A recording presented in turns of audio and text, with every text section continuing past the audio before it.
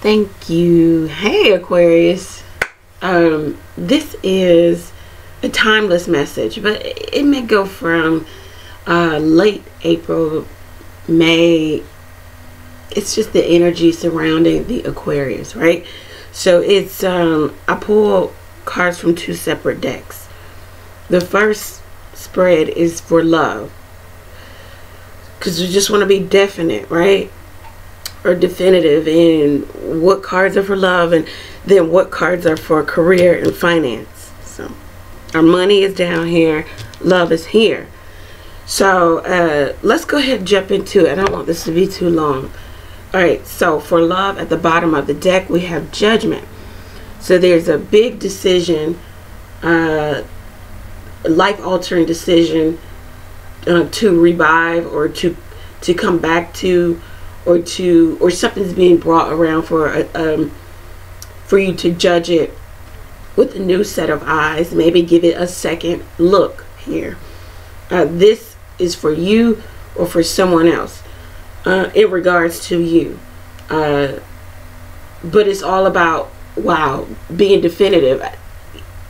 And I just use that word in regards to the two spreads but this is all about okay are you in or are you, are you out and you have to be you know really um, precise and accurate in your judgment uh, possibly because it's, it, it's um it's not going to come about for you like this again. And this is in love. So let's go ahead and uh, look at our cards. So we have the queen of cups. We have the five of pentacles. We have the queen of swords we have the four of cups we have the six of cups and we have the five of wands. Okay so just taking a minute to um, evaluate the spread it just looks like um, this is a situation where there are two people who are not in communication who are not in um, immediate access to each other. One is very concerned about because keep in mind the queens are concerned with their element. One is concerned about love the giving and the receiving of. One is concerned about truth the giving and the receiving of. Um, also about trimming the fat. Now go back to what this whole spread is about judgment making a final judgment on something. Are you in or are you out? Um, are you reviving or are you going to allow just to die? We have the four cups here. Talks about are you going to receive the cup the blessing from the heavens or do you still want to toil in the three of cups where you are? Excuse me uncertain or um, feeling like you're going to get more of the same. Will you take this cup? Because you somebody is feeling as if they are missing an opportunity. This can be the aquarius this could be the other person. I'm not going to get into signs but you know you it looks like everybody's here okay? So you can do that. Uh, but it looks like either the aquarius the aquarius may feel as if they're missing opportunity or someone who's dealing with the aquarius feels as if um, opportunity is being missed. The Aquarius is being missed. The Five of Pentacle. Um, someone doesn't feel as if they don't have a lot of confidence in this moving forward or a lot of confidence to come to Queen of Sword or vice versa, go to Queen of Cup and um, kind of move things forward. There's lack of confidence in, in forward progression. There's someone feeling as if they are left out. There's no communication here. There has been a change in a long-standing dynamic. Uh, so then we move forward to Six of Cups and the Five of Wands. We have two fives here. Lots of change. Changed happened in this dynamic. Or there is change happening in this dynamic. there could also be other people or other energies playing a part in the change. Uh, so we have the four and the six of cups. Someone feels as if a situation where there were roots, there is past history. Um, I don't know if I want to go backwards. Even though with the four and the six, this is the ten of cups, you could actually have a real happy relationship, a real family, a real the highest level of happiness in regards to two people, two individuals. Uh, I, I, this could be same sex, but I don't want to hark on that too much either because I feel as if we got two queens here because always keep in mind the queens are focused on their element.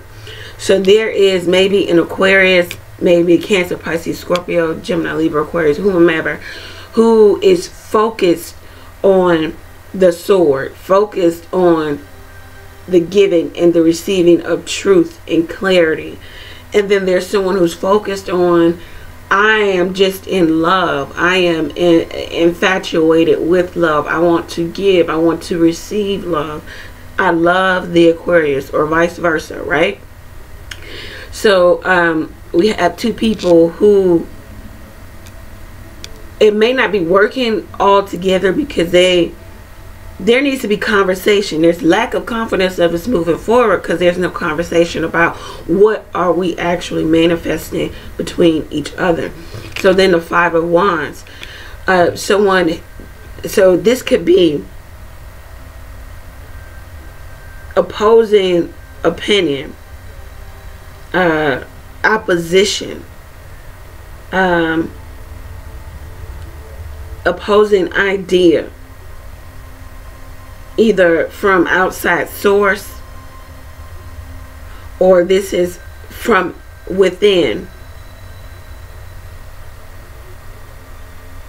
There may be also more than one suitor. This speaks about this could be the ten of cups and then also this could be new love and new marriage. But within that new love or new marriage there is uh, uncertainty. Back to that word. The aquarius or a person that the aquarius has in their energy or dealing or is dealing with needs to be final definite in their um, judgment in regards to maybe the restoring or reconciliation of or the actual forward progression of. Okay? All right so let's jump to career and finance. What i'm going to do is clarify over at my website. Keep in mind uh, the extended read is only two dollars so if you feel like this is resonating with you thus far then you know two dollars gains you a little bit more clarity. Or go ahead and book your own reading. All right so for career and finance already starting off on a good uh, foot with career and finance the wheel of fortune. So the the wheel is always turning. Now this may speak of it turning in your favor. So it's a 50-50 right? Because the wheel is about the tens so oh, I say it's a 50-50 because we've got four tens in the deck, right? We know that two of them, not so good. Or maybe you just have to go through that energy. And then the other two, very good. Ten of Pentacles, Ten of Cups.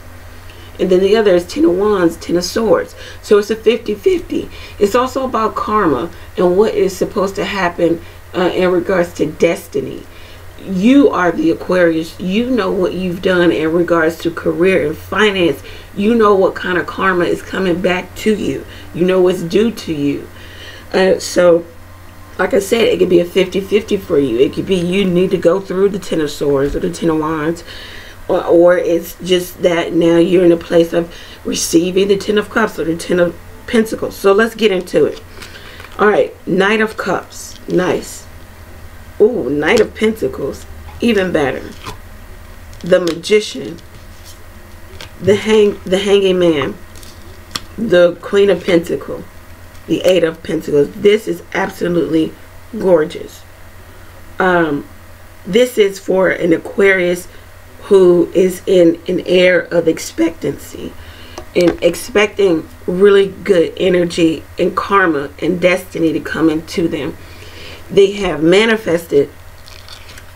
I hate when people use that word and not really explain it, especially to those who aren't 100% familiar with the you know the esoteric tarot card reading life right?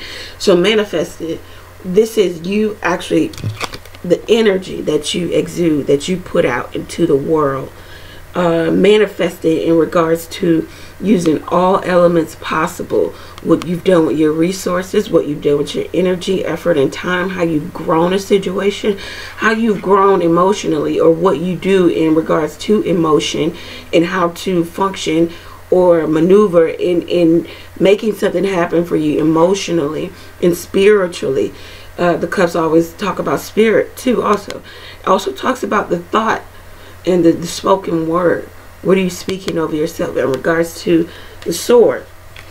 So uh, this is an aquarius who in career and finance you may have had or you are having a career move. Um, it's bringing you much fulfillment. Spirit is guiding you to something long it's it took a long time coming for you to get this knight of pentacle this offer this offer that may fulfill you on an emotional and spiritual level uh, the hanging man here you're now seeing something uh, in a different perspective i'm seeing that maybe i can make my money I can um, work independently. I can work alongside whatever. I can do I can do whatever it is that um, I think of. The the magician says I have the thought. That's why it's the one, right? I have the idea. And then it starts to uh, work on the idea. Go to the um, the high priestess, which would be the next card, where you hold that secret uh, plans of, and then the empress, where you start to create. You get into creation mode and actually doing. This is an Aquarius who um, has done a lot of leg work, so now they are reaping the rewards of that leg work, whether it was energetically, whether whether it was um, physically, all of those things. They have done the work. They are the magician. They're putting together a plan of action because this Aquarius is 100 uh, and 10% concerned about uh, the pentacle, concerned about um, stability, uh, their life, the tangible assets, the home, luxury, money in the bank, um, money to give, money to spend. This is an Aquarius that is 100% grounded in understanding um,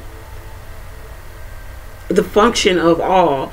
Understanding that they must be aligned with their passion in order to have long term uh, success uh, in the pentacle, in the physical, in the assets, okay? Um, if you are aligned spiritually with what your, your purpose is, then you don't have to chase money. Money comes, it flows. And then the last card talks about the ebb and flow of money. Talks the eight of pentacles. Talks about doing the actual work. Talks about money. Sometimes it's a roller coaster but it's but it is um just like the roller coaster has the ups and downs right the hills it, it also has a, a time of leveling out and being stable um, and this is an aquarius who is working toward being 100% stable this also talks about uh, travel uh, marriage later in life this is an aquarius that is working them way their self or their way to um, being 100% stable uh, in the pentacle. This is absolutely beautiful. Um, what you have done the work on is coming back to you. We're going to pull some cards over at the my website. This is a beautiful reading, Aquarius. Aquarius, you may have someone coming back who um, the cards are, are the, the cards. This I'm just so drawn to these two. It says, um, "What are you going to do?" You know, um, don't miss an opportunity, or um, don't think it's going to be more of the same. Or if you do think it's going to be more of the same, then you know judge it righteously, put it down. You know, uh, we're gonna we're gonna clarify over at the website to see what we have here so that the Aquarius can make the best decision in their own life because I'm reading for so many different Aquarius.